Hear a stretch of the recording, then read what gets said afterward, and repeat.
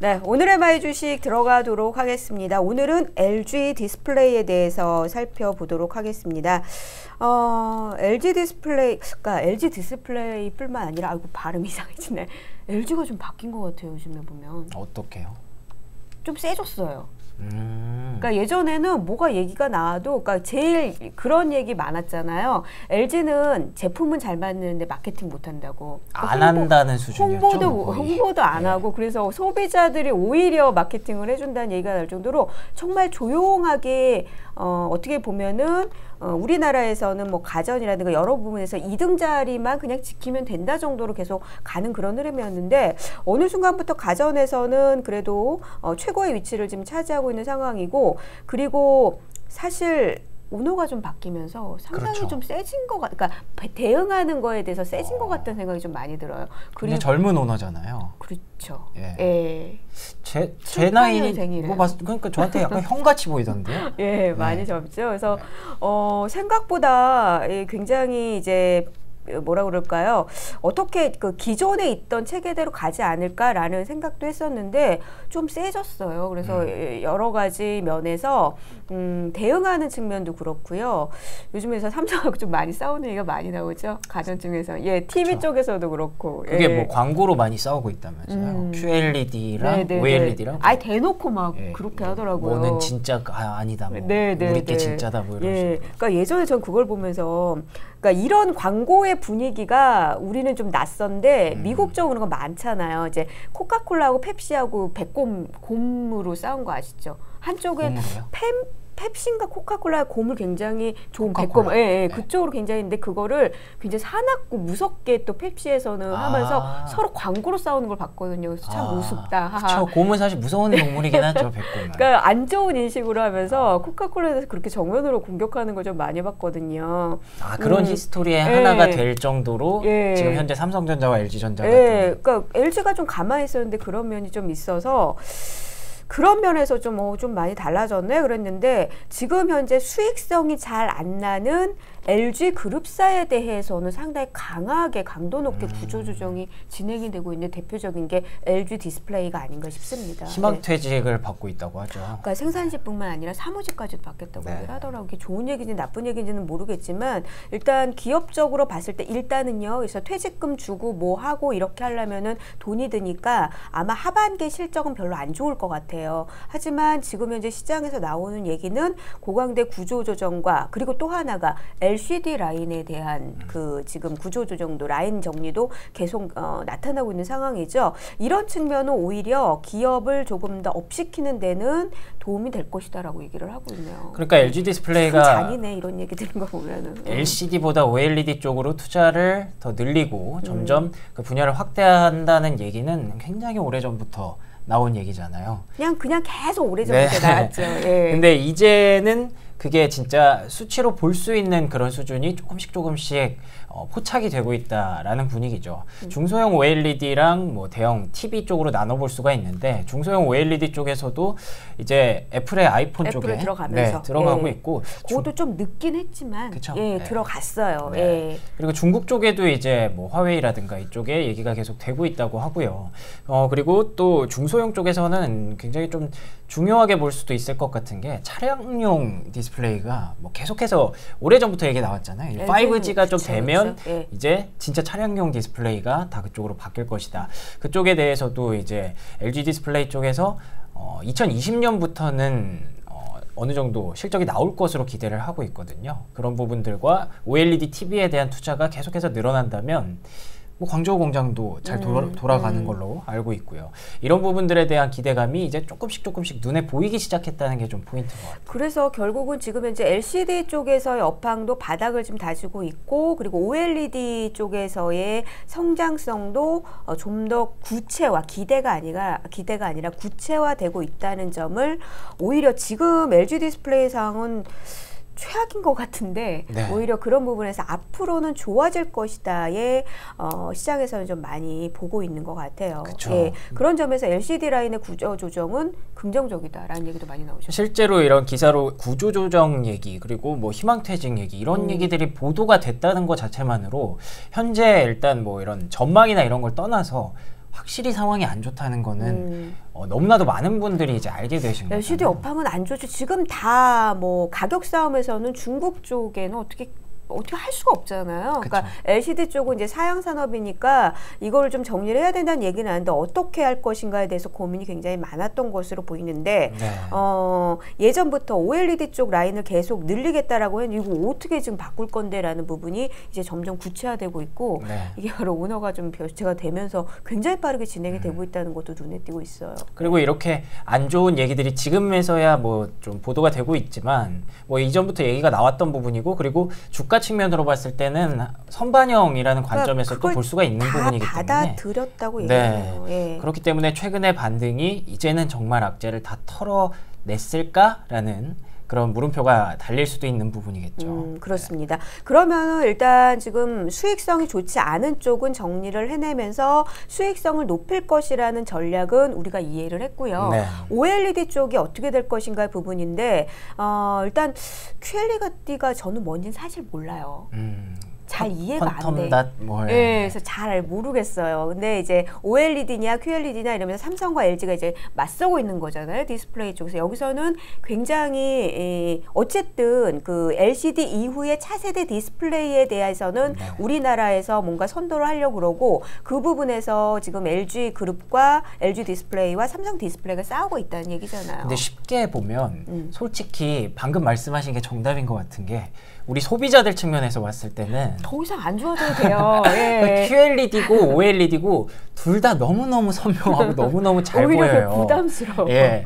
그래서 이게 싸움이 이렇게 난다는 것 자체만으로도 네. 일반 소비자들은 이게 낫다 저게 낫다를 충분히 판단하기 어려운 시- 사- 상황이라고 생각을 해서 네. 그 회사들끼리 지금 얘기가 나오는 것 같고요. 어, 아예 워- 어느 한쪽이 압도적이면 그렇죠. 그럼 이런 그냥 얘기도 안 이런- 나와요. 그렇죠. 그런 건 소비자들의 선택에 의해서 이미 끝나는 겁니다. 근데 음. 다들 QLED가 이 정도까지는 뭐 괜찮은 것 같은데 OLED가 더 좋다 그러고 OLED가 이만큼 넘어가면 사실 뭐가 좋은지 잘 모르겠고 네. 이런 부분들 때문에 네, 네. 계속 이렇게 싸우는 게 아닌가 생각이 들더라고요. 네. 저는 개인적으로 방송을 하는 입장에 더 안 좋아져도 된다고 생각합니다. 아 그렇죠. 저도 이건 참 문제라고 생각합니다. 저안 좋아도. 너무 화질이 좋아지면 너무 힘들어요. 예.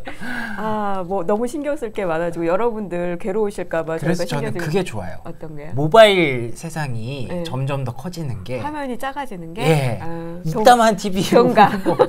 이렇게 봐주는 게더 네. 좋더라고요. 아, 여러분 보시는 입장에서는 크고 좀 더 선명하면 좋으실 수 있기 때문에 과연 삼성 쪽이 좋을까, LG 쪽이 좋을까는 고민을 많이 했는데 일단은 지금 뭐 OLED 쪽 얘기를 많이 하고 있으니까 그러니까 OLED든 QLED 든 어, 지금 이제 OLED 장비 쪽은 아마 기대를 많이 하고 있을 것 같거든요. 이쪽에 조금 더 투자가 더 일어날 가능성이 두 기업들의 양상들을 보면은 많이 늘어나고 있잖아요. 그래서 네. 끊임없이 많이 조정을 받다가 다시 세- 살아나고 살아나고 하는 힘이 강한 것 같습니다. 네. 예. 그래서 아무래도 뭐 지금 나온 얘기로서는 OLED 장비 쪽에 대한 이야기는 좀 더 좋게 나오지 않을까라는 생각이 드는데 어떠세요? 뭐 장비주들이 아무래도 이제 OLED 가 좀 좋은 국면을 맞이한다면 장비주들이 먼저 움직이는 거는 다들 뭐 알고 계시는 사실일 테니까 음. 그런 부분들에 대해서 좋은 얘기가 나올 수밖에 없죠. 최근에 제가 또 저희가 얘기했던 오마주 중에서 네. 덕산네오룩스가 또 최근에 얘기가 있었더라고요. 음, 보니까 그때 당시에 이제 삼성 디스플레이 그게 쪽에 삼성 쪽으로 네네네. 계속 어, 장비를 공급하고 있으니까 네. QLED 쪽 라인이 새롭게 어, 계속 되면은 아마 덕산이 괜찮지 않을까라는 네. 얘기를 하면서 오히려 하반기에는 QLED 쪽, 그러니까 삼성 쪽에 장비를 넣고 있는 기업들에 대한 관심도를 높여보자라는 얘기도 사실 있었어요. 그러니까 어, 장비 쪽을 볼 때는 저는 요즘에 계속 꼼꼼하게 보는 게 뭐냐면 LG 디스플레이 쪽이냐 삼성 디스플레이 쪽으로 음. 들어 가느냐 요걸 좀 체크를 하고 있는 상황이에요. 어, 우리 시청자 여러분들은 테크원님은 어, 이름이 테크원이니까 갑자기 긴장이 돼 tech 쪽 많이 아실 것 같아서 QLED가 좋으세요? 전 한 번도 본 적이 없어서 어, 궁금하네 어떤 측면에서 좋다는 말씀인지 너무 화질이 좋다 보면은 이게 평면처럼 보이더라고요. 그러니까, 음. 그러니까 너무 딱 붙어 있는 2차원적으로 보여요. 물론 네. TV가 2차원인데 너무 2차원적으로 보이는 거고 그 느낌을 아시나? 근데 무슨 말씀이신지는 네. 알겠어요. 근데 이게 언젠가는 또 되게 웃긴 얘기가 될 수도 있어요. 다 그러니까. 예. 나중에 한 5년 뒤에 딱 얘기를 해보면 그때는 이게 그렇게 힘들었대라고 웃으면서 얘기할 수도 있겠죠. 네. 예, 저는 오히려 어, LG 디스플레이 쪽에서 디스플레이는 rollable을 한번 기대를 해보도록 하겠습니다. 아, 그렇죠. 예.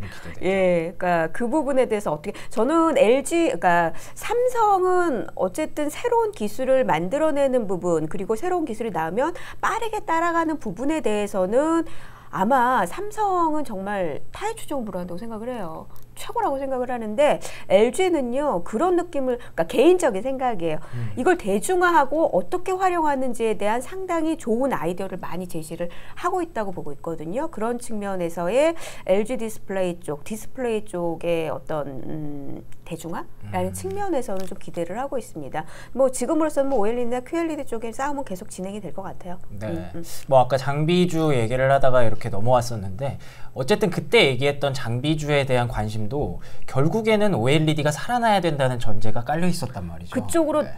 넘어갈 것이다. 예. 라는 전제하에 나오는 네. 거죠. 예. 그렇기 때문에 일단은 LG 디스플레이와 삼성 디스플레이에 대해서 좋은 얘기들이 지금 나오고 있는 상황에 어느 정도 이제 확인을 좀 해봐야 되는 그런 구간들이 있을 거고 어, 장비주들의 움직임을 좀 지켜본다면 그게 또 힌트가 될 수도 있겠다는 생각은 들어요. 장비주들이 계속해서 양호한 움직임을 보여준다면 디스플레이의 업황에 대한 얘기도 뭐 좋은 쪽으로 조금 더 해석이 더 되지 않을까 그런 부분들을 더 많이 시장에서 보게 되지 않을까 그것만으로도 일단 주가 움직임에는 좀 변화가 있을 수 있잖아요. 그러니까 명성의 건 삼성 디스플레이가 됐든 뭐 LG 디스플레이가 됐건 디스플레이에 대한 좋은 전망들이 계속 나와줘야 된다는 얘기네요. 그렇죠. 아. 네. 반대로 지금까지 너무 안 좋은 얘기들만 나왔었기 때문에 이제는 조금씩 조금씩 어, 나올 때가 됐다. 예. 살아날 때가 조금 된 네. 것 같다라는 네. 게 결론이었습니다. 지금 우리 시청자님도 말씀을 하셨지만 일단 아마 하반기에 LG 디스플레이 지금 보니 제가 어, 이번에 또 자금 조달도 한 걸로 제가 기억을 하고 있거든요. 아마도 그거는 퇴직금이라든가 여러 가지 비용 처리를 위해서가 아닌지, 그러니까 경영을 위한 것이 아닌지라는 얘기도 나오고 있어서요. 실적으로 봤을 때는 LG 디스플레이 아직까지는 하반기까지는 오히려 이, 이 상반기보다 더 안 좋아질 가능성이 있다는 것도 말씀을 좀 어. 드려야겠네요. 예. 테코어님께서는 QLED와 OLED를 옆에 두고 비교해 보면 보인다고 하셨는데 어, 그러면은 이거 뭐 저희가 뭐 실물을 본 적이 없어서 하이마트 뭐 가서 보면 되나? 이렇게 같이 가서 이렇게 보면 되나? 그러면 되겠죠. 아, 한번 비교해보고 같이 얘기해볼게요. 근데 그게 또 되게 사양이 되게 다양하지 않나요? QLED 안에서도 몇 인치 몇 인치 몇 인치. 아, 그러니까 저는 그 비교를, 그러니까 솔직히 말씀드릴게요. 저는 이 차이를 잘 몰라서, 음. 예. 그러니까 같이 가는 이제 옆 짝꿍은 뭐가 어떻고 뭐가 어떻고 얘기를 하는데 저는 잘 모르겠어요. 아, 예. 그렇군요. 음. 그럼 제가 한번 열심히 그래요. 한번 비교를 해보고 오도록 예, 하겠습니다. 예, 사진 좀 찍어서 이게 다르다고 얘기 좀제 해줘요. 눈을 여러분들께서 믿어주신다면 네, 제가 한번 열심히 해보도록 하겠습니다. 네, 일단 명성외과 이야기를 한 것처럼 디스플레이에 대한 기대감은 조금씩 조금씩 예전보다는 좋아진다는 느낌이 많이 있는데 구체적으로 한번 볼까요? 네, 신한금융투자에서 17일에 나왔던 LG 디스플레이 종목 리포트를 가져와 봤습니다. 최악에서 벗어나고 있다라는 제목으로 LCD 업황의 악화, 각종 일회성 비용 등으로 2019년에는 총 1조 3,300억 원의 적자를 일단은 예상을 했습니다. 하지만 3분기 스마트폰용 OLED가 글로벌 전략 고객, 그러니까 애플에 공급이 되고 있고요. 자동차 업체향 OLED 사업이 본격화되면서 2020년에는 중소형 사업도 정상화될 것이라고 전망을 했습니다. 그리고 중국의 OLED TV 라인이 풀가동되면서 2020년 OLED TV 매출액은 LCD TV 매출을, 매출을 추월할 것이다 라고 하면서 투자 의견을 매수로 목표가를 18,000원까지 상향을 했습니다. 네, 어, 상향했다는 네. 게 제일 눈에 띄네요. 모처럼 상향 음. 리포트가 나온 거죠. 예, LG 디스플레이가 기술적으로 아직 좀 자리를 잡지 못한 것 같긴 하지만 일단 그 주변에 있는 장비주라든가 특히 OLED든 QLED든 어, 디스플레이 향 쪽의 장비주들에 대한 움직임은 계속 관심을 받을 가능성이 높다는 거 시장에서는 그렇게 좀 보고 있다는 거 또 정리를 해보도록 하죠. 네. 자, 오늘의 마이 주식은 여기까지 해보도록 하겠습니다.